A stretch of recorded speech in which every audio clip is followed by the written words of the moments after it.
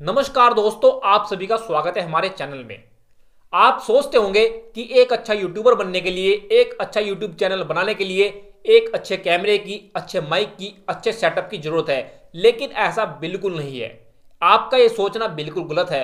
अगर सबसे ज़्यादा ज़रूरत है तो वो है अपनी गलतियाँ सुधारने की, अपने आप को इम्प्रूव करने की। लेकिन कैसे? चलिए जानते हैं इस वीडियो में। आपका फेस चैनल होगा या फेसलेस कोई सा भी हो ज़रूरत दोनों में है, अपने आप को इम्प्रूव करने की। इम्प्रूव अपने आप को कैसे करना है, मैं आपको स्टेप बाय स्टेप अच्छे से बताऊँगा। वीडियो को ध्यानपूर्वक देखते रहे। पहले बात करते हैं फेस चैनल की। जैसे मैं वीडियो बना रहा हूँ, इस फेस चैनल की। आपको दो से तीन चीज़ों पर खास ध्यान देना है। आपको वे ऑफ़ एक्सप्रेशन आप कैसे बोल रहे हो?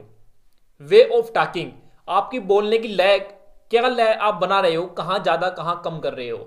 इसका ध्यान रखना है और आपको शब्दों का भी ध्यान रखना है कि आप शब्द कैसे उच्चारण कर रहे हो। शब्द शुद्ध निकल रहे हैं या गलत निकल रहे हैं? आपको क्या करना है? जब आप इन तीनों चीज़ों को ध्यान रखकर वीडियो बनाओगे तो आपकी एक वीडियो बनकर तैयार हो जाएगी। आपको उससे जब अगली वीडियो बनाओगे तो तब भी इन तीनों चीज़ों का ध्यान रखना है। और क्या करना है अगली वीडियो में? जो पिछली वीडियो में आपकी गलती थी, कोशिश करना है कि अगले में वो बिल्कुल भी ना आए। अगर आप कोशिश करोगे ना कि मेरी इस वीडियो में जो गलती थी, वो अगले में ना आए।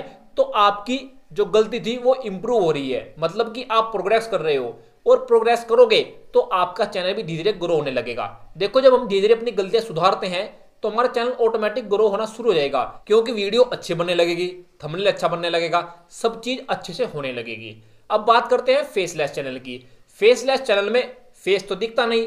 उसमें क्या ज़्यादा रोल होता है? उसमें ज़्यादा रोल होता है वीडियो एडिटिंग का। वॉइस का देखो, जब आप बोलते हो और उसमें फ्लो भी देखना पड़ता है कि कहाँ फ्लो ज़्यादा करना है और कहाँ कम, क्योंकि फेस तो उसमें दिख नहीं रहा। इसलिए आपको, जब भी आप वीडियो बनाओ तो आपको वीडियो एडिटिंग का खास ध्यान रखना है और बोलने का भी।